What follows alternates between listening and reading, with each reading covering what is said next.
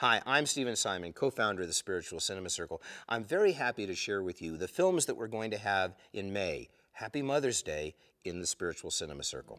First up this month, we have an extraordinary documentary called Visions of a Universal Humanity.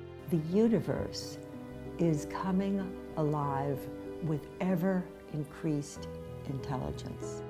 This is a film about who we are and how we can connect to the world through our hearts. What's really happening in evolution, how we can really move forward. There are some extraordinary teachings and, more importantly, some extraordinary feelings in this film.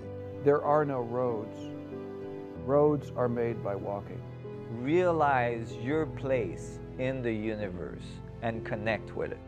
I invite you to join Barbara Marx Hubbard and Jean Houston. And we look back upon ourselves of just a few years past as honored Neanderthals. And some other extraordinary people. We haven't even begun the beginning of the beginning of the beginning. It is all starting right now. This is indeed a garden worthy of celebrating, and this is what is our future. As we look at a vision of who we can be as a humanity when we operate at our very best. And we're going to go where humans have never gone before.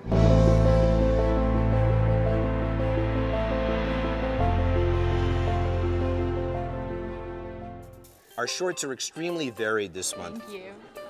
Thank you. First up, Grande Drip. A wonderful and poignant and often funny film. You're going to get a free ride downtown. We are downtown.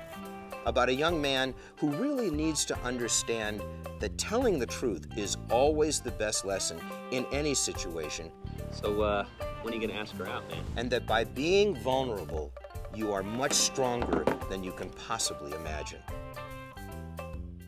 Next up, Pretty Happy, a very controversial and interesting subject matter covered in this short about a woman who is really trying to figure out who she really is to herself and her family. I think you look terrific for a woman your age. It's a film about vulnerability, it's a film about image, it's a film about feeling, and a film about love that I think will create a lot of controversy and a lot of discussion. Oh. Hi. Hi.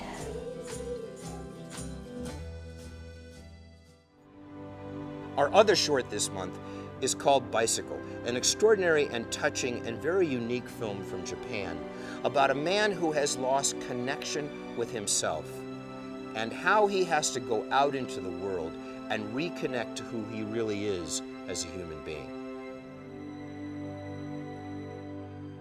Those are the films for Volume 5, May of this month. For all of you who are going to be celebrating Mother's Day, happy Mother's Day, and we hope that you will join us in the Spiritual Cinema Circle.